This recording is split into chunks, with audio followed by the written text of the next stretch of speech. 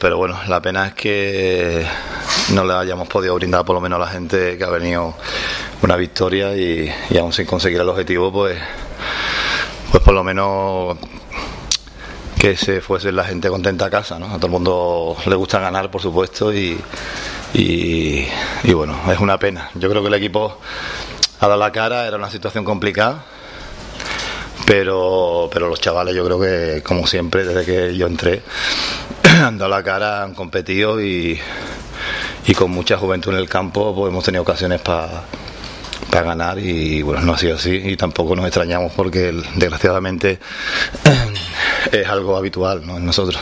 Se cierra una etapa, trabajan en esta tercera.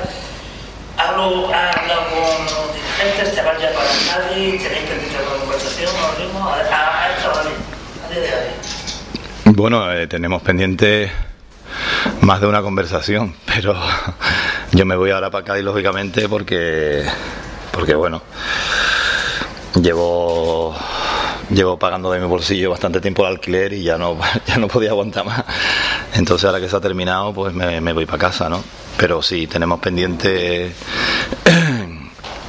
una conversación y, bueno, y, no sé qué pasará, la verdad. ¿Tu sensación que te vas a volver o no? Hombre, Jaén es una ciudad bonita y, y la verdad es que yo pienso volver.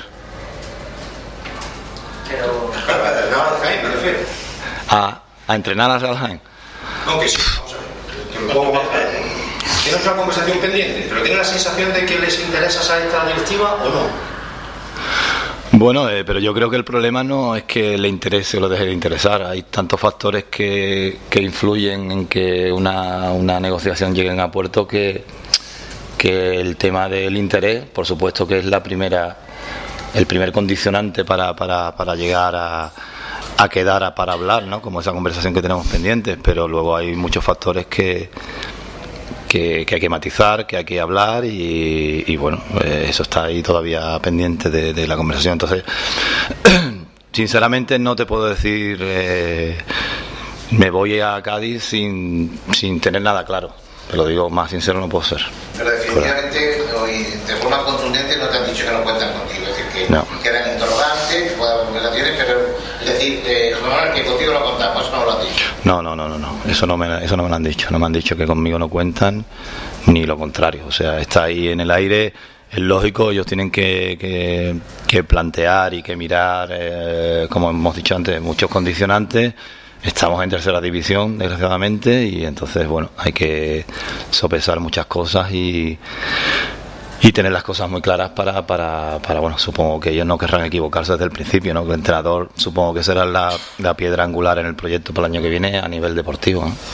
El plano personal, ¿qué te lleva de positivo y de negativo en este, en este último, en esta última temporada? Hombre, de negativo está claro, ¿no? El descenso a tercera, a tercera división.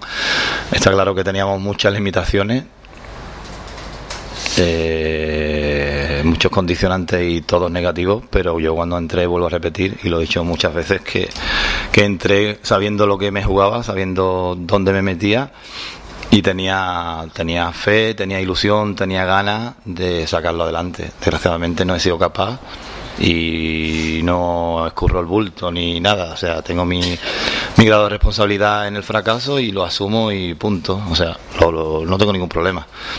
Eh, voy a hacer un inciso, lo que sí me choca un poquito que hace cinco días o seis días o siete días, ocho días era parecía capelo y de, de en un pispás pues ya por ahí van diciendo que, que si no soy el entrenador idóneo, que si ya a dos equipos, que si a mí la verdad que eso no me preocupa, pero lo que sí me, sí me, me, me choca es el, es el, el...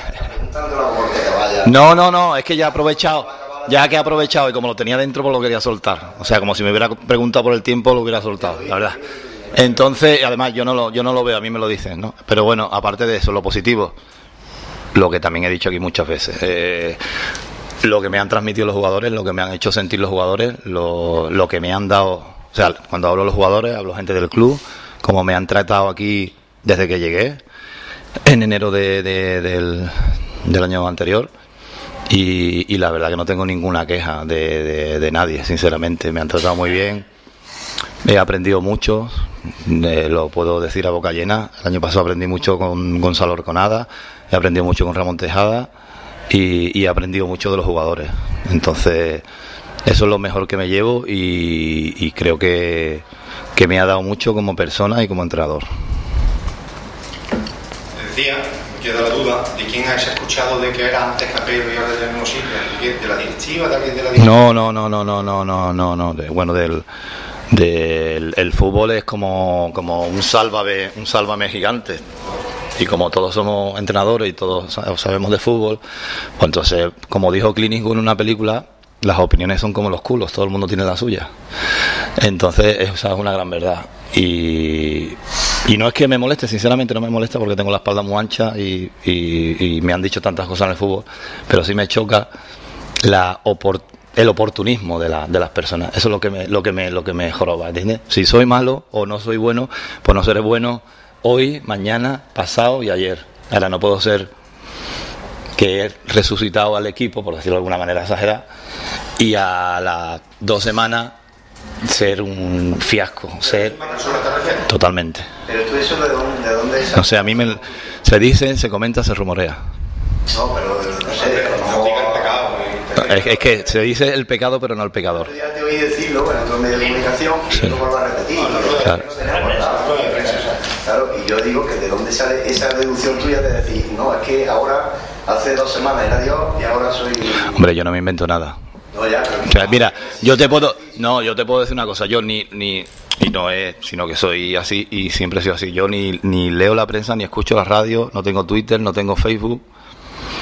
Eh, no, lo que pasa que, me lo, que, desgraciadamente, aunque tú no, tengan esas, eh, no tengas esas cosas, te llegan, te llegan al oído. Oye, por el otro día eh, estuvieron diciendo tal, el otro día estuvieron diciendo tal.